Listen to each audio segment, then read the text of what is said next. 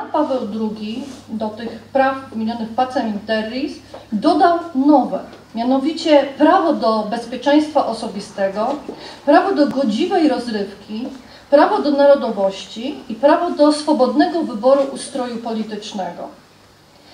I z tego katalogu papieża Jana Pawła II można wydobyć dwa elementy, które rzeczywiście stanowią pewne nowum. Pierwszy z nich dotyczy szczególnej troski o prawo do życia. Drugi element nowy w zakresie katalogu praw człowieka dotyczy indywidualizacji i uniwersalizacji praw człowieka. Stąd też Jan Paweł II w swoim wykładzie dotyczącym praw człowieka zajmował się prawami nie tylko ogólnie, ale także szczególnym prawem dla dzieci, matek, młodzieży, emigrantów, bezrobotnych czy osób chorych. Następnym punktem naszej konferencji jest panel dyskusyjny, w którym udział wezmą wybitni znawcy problematyki i bardzo proszę o zajęcie miejsca przy stole prezydialnym. Ojca Świętego Jana Pawła II Świętego Wielkiego nauczanie było przekazywane przez wszystkie lata jego pontyfikatu w naszej parafii kiedy obchodziliśmy, przeżywaliśmy te piękne, wspaniałe dni. Każdego 16 miesiąca były msze święte papieskie i zgłębialiśmy nauczanie papieża Jana Pawła II. Następnie całe moje życie kapłańskie to właśnie, można powiedzieć, pod opieką i patronatem Ojca Świętego, Karola Wojtyły, a potem kardynała i papieża. Całe jego nauczanie, wszystkie encykliki są głębokie, bo one ukazują wartość ludzkiego życia i ludzkiej istoty, że człowiek jest, ma swoją tożsamość, której nie można zaprzepaścić, której nie można podważać. Również mówię o wielkiej godności kobiety, mulieris dignitatem. To pokłon do pani profesor bo właśnie kobieta jest tą istotą i tym stworzeniem, które formuje i kształtuje ludzkość, rodzinę i cały świat może w największym wymiarze. Bo rodzinę i małżeństwo znowu to jest wielkie prawo i wielki obowiązek, wielkie zadania i wielkie poświęcenie. Dlatego niech to co pani profesor pięknie i merytorycznie i tak fachowo nam przekazała, niech to pozostanie w naszej pamięci, zapadnie głęboko w naszych sercach, abyśmy w pełni byli ludźmi odpowiedzialnymi, dojrzałymi, w świetle nauki Jezusa Chrystusa, którą jest Ewangelia dobra nowina, którą przyniósł nam Chrystus, a której wykładnią jest nauka Ojca Świętego, i magisterium eklezję, magisterium kościoła. Oczywiście y, rozstrzygające, zawsze rozstrzygającymi sprawami była ta sprawa godności osoby ludzkiej, czyli pytanie jest, innymi słowy, skąd jest człowiek? To jest rozstrzygająca sprawa. Czy na sposób naturalistyczny, idąc gdzieś tam od czasów pozytywistycznych, że w istocie człowiek jest tylko i wyłącznie produktem materii, jakiś, jakoś tam na drodze takiej czy owej ewolucji, czy jest powołany do życia mocą aktu stwórczego osobowego Boga. I jeśli wejdziemy, a tak się działo, bo to już jest długi okres czasu, kiedy mamy eksperymenty prawne w tym zakresie e, czynione. Jeśli wejdziemy w obszar tego naturalizmu, czy ateizmu, jak ktoś woli, w koncepcji człowieka, to pochodną tego nie ma czegoś takiego jak stałość praw naturalnych. Dobre słowo, słowo kierowane do człowieka, słowo pełne miłości. W 2006 roku brałem udział w takiej konferencji e, naukowej w Mińsku na Białorusi, którą e, prowadził świętej pamięci kardynał Grocholewski, watykanista, który między innymi powiedział, a to już było po odejściu Ojca Świętego, że analitycy papiescy, biografii papieskie, jego pontyfikatu stwierdzili trzy takie kardynalne zdania wypowiedzieli, że po pierwsze Ojciec Święty Jan Paweł II nigdy nie zamilczał, jeżeli na świecie zdarzyło się, wydarzyło się coś negatywnego. Nigdy nie zamilczał. Po drugie, zwracając uwagę, upominając nigdy nikogo nie obraził. I po trzecie, nigdy nie musiał się wycofywać z wcześniej wypowiedzianych słów. Ja bym chciał bardziej e, wejść na taki poziom praktyczny e, tego, o czym e, rozmawiamy, bo to, że Jan Paweł II był papieżem praw człowieka, to wiemy, tak? Ten katalog, który pani profesor była łaskawa przedstawić, on jest bardzo, bardzo szeroki. Ja bym chciał się odnieść do dwóch elementów. Po pierwsze wolności religijnej, a po drugie wolności politycznej, bo uważam, że to jest pewien fundament e, tego. I to był papież nie tylko słów, ale papież czynu. I rzeczywiście, oprócz y, praw człowieka w nauczaniu Jana Pawła II, możemy powiedzieć w życiu Jana Pawła II. A odpowiadając na to pytanie, ile zostało z tego nauczania w naszym życiu, to wydaje mi się, że tyle zostało i tyle zostanie, Szanowni Państwo, ile będziemy my swoim życiem pokazywać. Pierwsze zdanie wstępu do Powszechnej Deklaracji Praw Człowieka z 10 grudnia 1948 roku odwołuje się do przyrodzonej godności, której uznanie jest podstawą wolności, sprawiedliwości i pokoju. Również preambuła polskiej konstytucji z 1997 roku nakazuje całą ustawę zasadniczą stosować w duchu poszanowania przyrodzonej i niezbywalnej godności człowieka.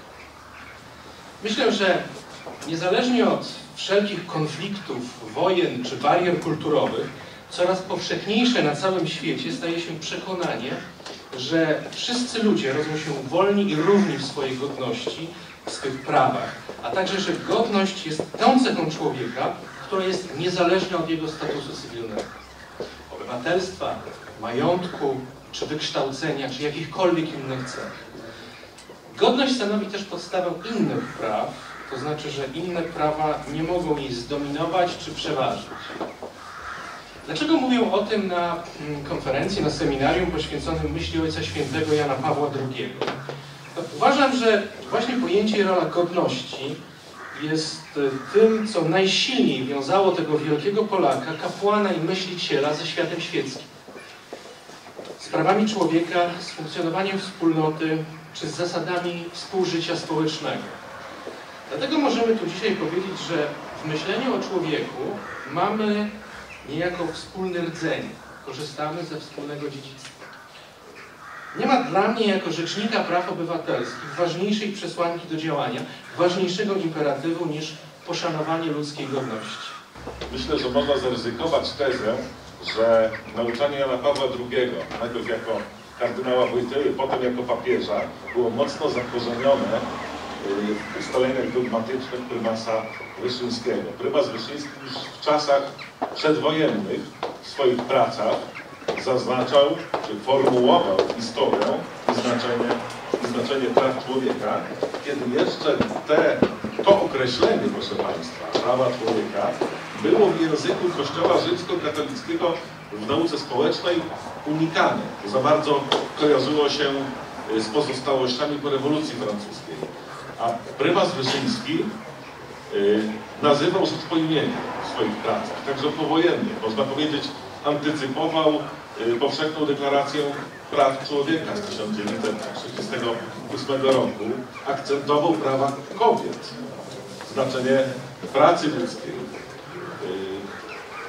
obowiązkowym nauczaniu Opus Dei, y, książki księdza prymasa były, były elementem obecnym. I potem ta piękna kontynuacja Jana Pawła II, myślę, że bez tego solidnego fundamentu prymasowskiego nie byłaby w takim zakresie możliwe. Dlatego łączenie osiągnięć tych obu wielkich Polaków, tak jak łączył w swojej działalności długoletni proboszcz naszej parafii świętego Józefa, jak eksponował, jest, jest elementem koniecznym, bo bez, bez nauczania, bez poznania, bez zgłębienia nauczania prymasa tysiąclecia trudniej jest zrozumieć przesłanie y, papieża Jana Pawła II. I ta kontynuacja, to zestawienie jest, myślę, bardzo pożyteczne, katalizujące dla, dla nas jako odbiorców, odbiorców tej nauki i adresatów. Konferencja na temat praw człowieka w nauczaniu Jana Pawła II to doskonała okazja porozmawiania o tym, co było fundamentem długoletniej służby kapłańskiej księdza infuata Kazimierza Korszniewicza. Jego jubileusz 60-lecia przypadł co prawda w zeszłym roku, ale pandemiczne okoliczności nie pozwoliły na to, abyśmy mogli spotkać się z nim twarzą w twarz, podziękować, okazać yy, wyrazy wdzięczności. I dzisiaj właśnie poprzez rozważa rozważania nad nauczaniem Jana Pawła II, jego praktycznym wymiarem yy, w pracy duszpasterskiej księdza Infuata oraz o wnioskach na przyszłość yy, rozmawiamy w Międzyrzecu Podlaskim. Będziemy się razem modlić podczas mszy pod przewodnictwem księdza biskupa a potem uhonorujemy dorobek kapelana szpitalnego księdza Infuata odsłonięciem tablicy.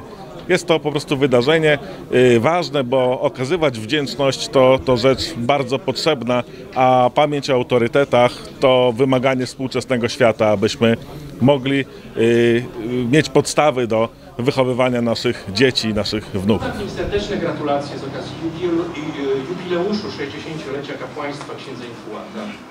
Również wyrazy szacunku, wdzięczności za wybitne zasługi w sferze ochrony praw człowieka. Za odwagę, za konsekwencje w działaniach na rzecz wolności słowa, wolności zgromadzeń, wolności sumienia wyznania. Za zasługi dla społeczności diecezji siedleckich. Za staranie o powszechny dostęp do edukacji i do ochrony zdrowia. Wreszcie rzecz ogromnie ważna, za pomoc osobom wykluczonym, znajdującym się w trudnej sytuacji życiowej i materialnej. Dziękuję księdzu e, Infuatowi za te wszystkie zasługi, zarówno dla dużej, jak i dla małej ojczyzny. Wszystkiego najlepszego, błogosławieństwa Bożego.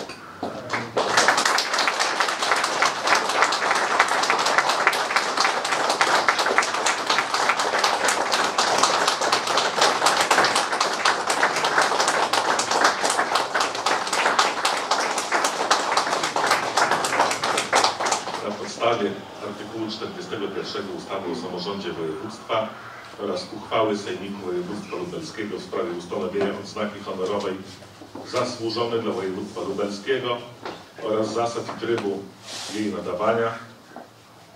Zarząd Województwa Lubelskiego podjął uchwałę o nadaniu odznaki honorowej zasłużone dla województwa lubelskiego księdzu Infuatowi Kazimierzowi Korszunowiczowi i do wręczenia odznaki zapraszam pana Jerzego Szwaja, przewodniczącego Sejmiku Województwa Lubelskiego, w asyście pana profesora Mieczysława Ryby, wiceprzewodniczącego Sejmiku. Gratuluję.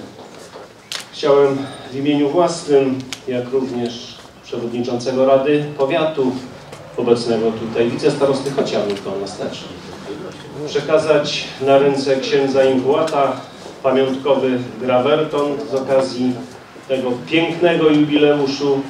Księże Ingułacie przekazujemy najserdeczniejsze życzenia, gratulacje. Bardzo się cieszę, że w tak zacnym gronie możemy się dzisiaj tutaj spotkać na tej wyjątkowej uroczystości i mam ogromną nadzieję, że e, na 80-leciu również będziemy mogli w takim samym składzie się spotkać, czego życzę i księdzu Inf- Infułatowi i oczywiście nam wszystkim tutaj zebranym.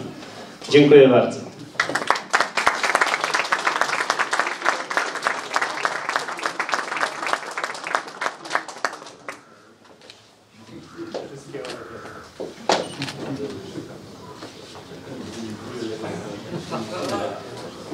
Wielce Szanowny Księże Intułacie, dostojny jubilacie, tą drogą pragnę przełączyć się do życzeń nieustającej Bożej opieki, która dziś wybrzmiewa w Międzyrzecu z okazji jubileuszu kapłaństwa księdza Intułata.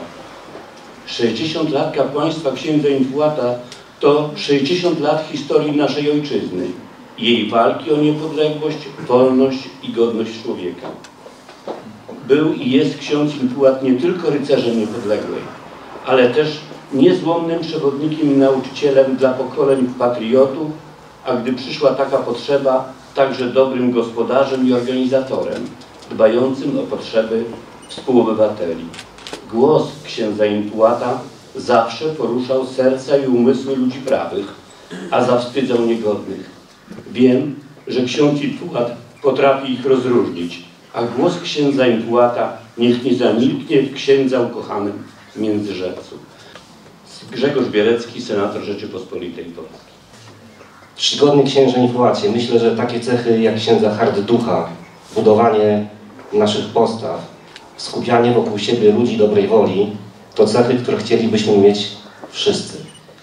Kończąc, właściwie może nie kończąc, chciałbym także życzyć księdzu przede wszystkim błogosławieństwa Bożego, opieki Matki Bożej, ale także namacalnej obecności Ducha Świętego, bez którego nasze jakiekolwiek działanie, które tutaj podejmujemy, nie ma racji bytu. Życzę księdzu także wstawiennictwa tak bliskich księdza sercu męczenników podlaskich. Wiemy, ile ksiądz w tej sprawie dla nas wszystkich zrobił. Czcigodni Państwo, kończąc te życzenia, chciałbym przytoczyć fragment wywiadu, którego ksiądz Infułat udzielił w 2013 roku pani Agnieszce Wawryniuk, to jest redaktorka Echa Katolickiego, a wywiad dotyczył roli, jak, jaką, jaką w życiu księdza Infułata odegrał biskup Jan Mazur. Ten wywiad był udzielony w 5 lat po śmierci orędownika i przyjaciela księdza Infułata. Ksiądz Infułat powiedział wtedy tak. Mógłbym opowiadać o nim bardzo długo. Na koniec chcę tylko podkreślić, iż ksiądz biskup pochodził z tego samego rocznika, co błogosławiony Jan Paweł II. Obaj prezentowali tę samą linię, obu wyrażniała duszpasterska gorliwość i oddanie Kościołowi. Biskup Jan Mazur to człowiek legenda. Należy ją czytać jak najczęściej. Niestety bardzo nam to wszystko jest trudno naśladować. Szanowni Państwo, myślę, że te słowa, które ksiądz Kazimierz powiedział wtedy o Janie Mazurze, doskonale pasują także do postawy naszego czcigodnego jubilata. Drogi księże, bardzo nam ciężko tą postawę księdza naśladować. Dziękuję bardzo.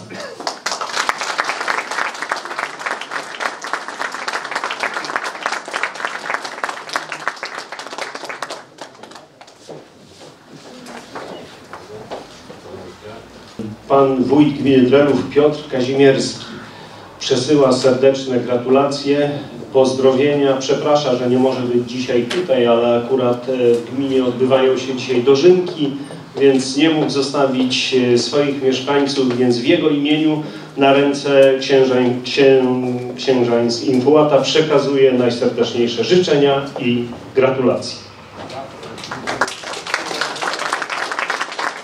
Środowiska y, świeckie zgromadzone czy funkcjonujące w strukturach przyparafialnych, więc w Rzecu Podlaskim wystąpiły do y, ekscelencji ordynariusza Siedleckiego z taką inicjatywą, aby y, wystarał nam zgodę Stolicy Apostolskiej na powoływanie osoby papieża Jana Pawła II jako patrona naszego miasta, aby za jego wstawiennictwem, za jego orędownictwem nasze miasto mogło się rozwijać i wzrastać i w duchu, i w mieniu.